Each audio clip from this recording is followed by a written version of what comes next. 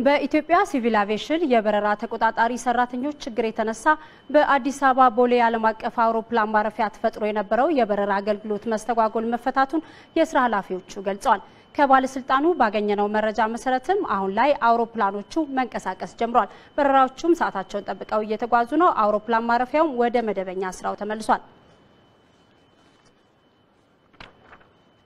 ተመልካቾቻችን በዚህ ጉዳይ ላይ ተጨማሪ መረጃ ሊያደርሰን ሪፖርተራችን ዳንኤል ኃይሌ አሁን አዲስ አበባ ቦሌ ዓለም አቀፍ ኤርፖርት ይገኛል። ከእሱ ጋር ቆይታ ይኖርናል። ዳንኤል እንደምንልሃል። እስቲ ቀደም ሲል የተገለጸው ችግርና አሁን ተፈቷል የተባለው ችግር በዋናነት መንስኤው ምን ነበረ?